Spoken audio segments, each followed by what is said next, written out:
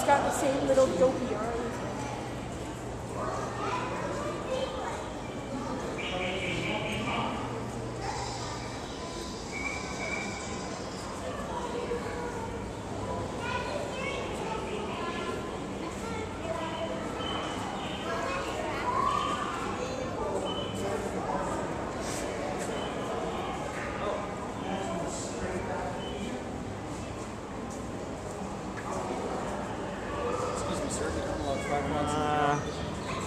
You doing today, Mike?